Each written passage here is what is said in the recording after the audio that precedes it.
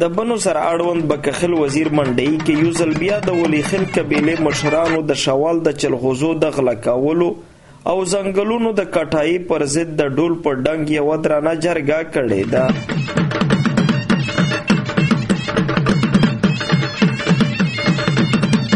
په دې موقع د هغو قبیلو خلاف په شپېته کسانو مشتمل څلوېښتای هم تشکیل کړی شوی دی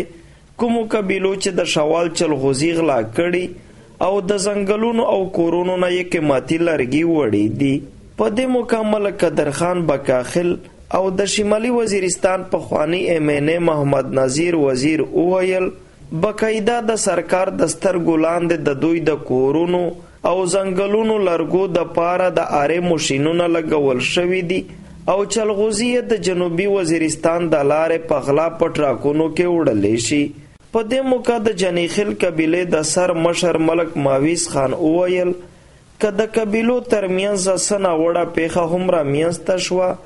نو ذمه واري به یې د دولت په غاړه وي که فوج ته فوج ته نه وي چې دا بونډري ورته کیم فوج پروت دی کیمې یونټ پراته دي دا خلکو ویر شي میږو دا بونډري ورته وشي چې نه دا بونډري د مودو و دا بونډري د غدول خلک دي نور جواد مطلب دا چې هر شي ته حکومت ته پاتې شته چې دا د وتمان ځای دی دا د مزای دی دا د مسجد دی دا د ولی دی دا د پلان کې دی نو دا خلک مجبور دی دا خلک روزي نو کدای شي چې دغه حکومت ته نظر جوړ په دې موقع د صوبايي اسمبلۍ غړي ملک شاه محمد خان وزیر وویل، شوال د اولیخیل قبیلې یعنی د جنیخیل، بکاخیل او کبلخیل ملکیت دی، باید چې هلته امنیاتي ځواکونه د دوی د غرونو، کورونو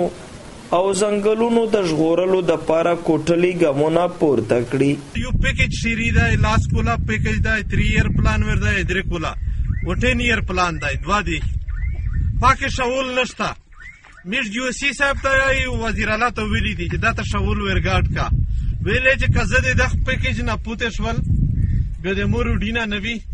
د متصلینو نوي صاحب ویلې چې د یو کول د فاټا د پورا سو عرب ریپې دي که میږ د پیکج نه پوتې شي دا د میږ غټ نقصان دی. په دې موقع مشرانو دا تورونه هم ولګول چې په شوال کې د شوال د خلکو د چلغوزو د غرونو او نورو قیمتي لرګو ځنګلونو سره کوم چلند روان دی دې ته باقاعده د دولت سرپرستي حاصله ده. د کیمره مین افتاب خان سره ګوهر وزیر خیبر نیوز بنو